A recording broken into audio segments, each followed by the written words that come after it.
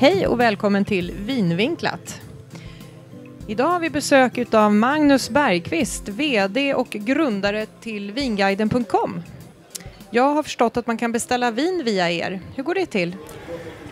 På vinguiden.com så finns det 12 000, över 12 000 flaskor som man kan beställa och det är alla vinimportörers viner som man normalt köper på Systembolaget. Men där finns det bara, bara bara, men det finns 2 000 flaskor då att handla på hyllan. Men det finns alltså 12 000 andra flaskor som man kan beställa och då får man dem levererade i sitt bolag och så hämtar man ut dem där.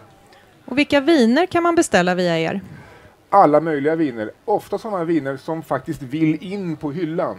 Eh, det finns två varianter att komma in på Systembolaget. Ett är att Systembolaget eh, frågar om ett vin, ett specifikt vin. Den andra varianten är att tillräckligt många svenskar vill ha ett vin genom att de beställer tillräckligt mycket. Då måste Systembolaget ta in det eh, på hyllan till slut. Så det blir som folkets röst på Melodifestivalen. Mm, Okej. Okay. Vad innebär monopolet? Är det lagligt att beställa vin via Vinguiden? Ja, det är det. Eftersom alla, all utskänkning sker av Systembolaget. De har ju då fått uppdraget av riksdag och regering att eh, sköta distribution och försäljning.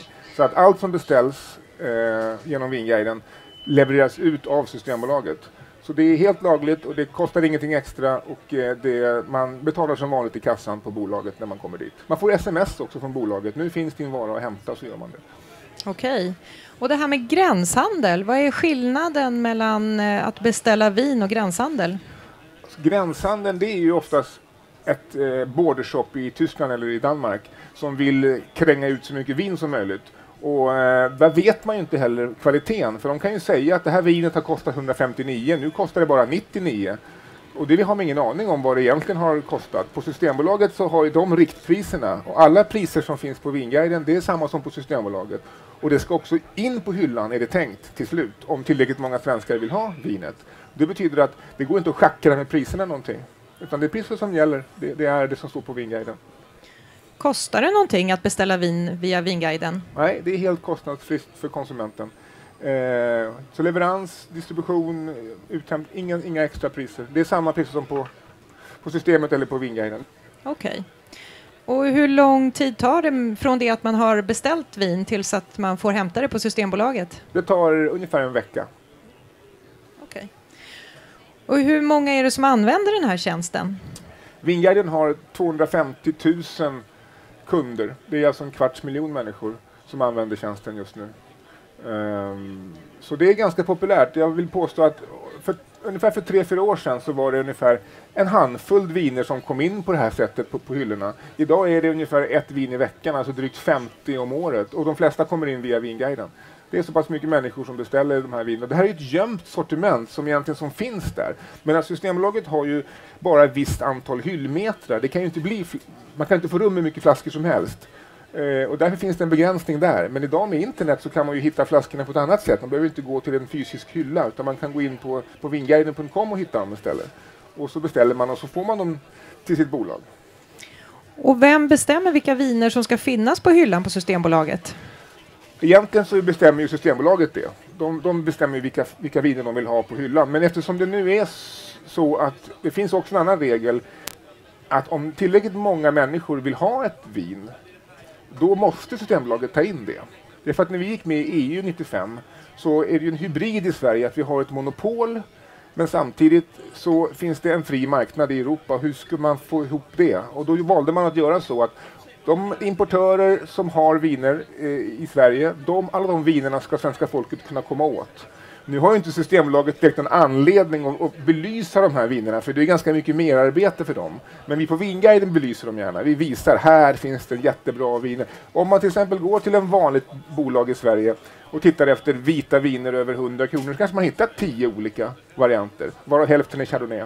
Och så vill du ha en Gewürztraminer, kanske inte den finns. Men går du in på, på Vinguiden så kanske det finns 100 sådana. Och då kan du beställa och så, om du kan vänta en vecka då så.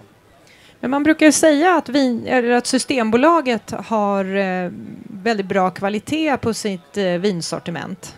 Hur ja, stämmer det, det, tycker du? Ja, det stämmer väldigt bra. De har väldigt bra kvalitet på sortimentet och ett väldigt brett sortiment.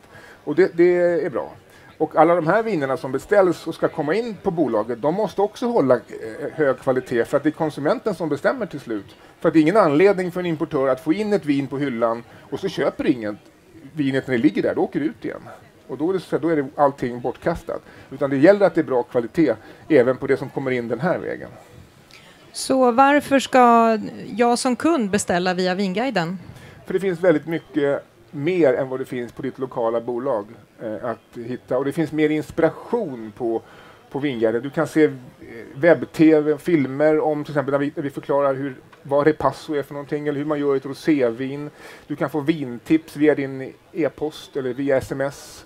Ehm, så det finns flera sökfunktioner att enkelt hitta fram till de här vinerna då som man inte och det kan också vara så när man går på bolaget och ska beställa så kanske det är fre- eller handla så är det fredag och man är trött och man har barn och man har matkassar och då ska man stå och välja och då har man något att välja på. Det är egentligen det står något gulligt får, ett litet gris och sen är det en fransk flagga och så ett pris. Och de, de parametrarna ska jag göra mitt val av. Är man lite mer intresserad än bara det, då kan det vara utmärkt att titta på Vinguiden i lugn och ro hemma och få massa information och sökningar och hitta någonting. Och så lägger man det i kundkorgen och så klickar man och väljer systembolag vart man vill få det levererat till. Och sen så får man sms och så går man och hämtar. Tack så mycket. Magnus Bergqvist, VD för Vinguiden. Tack.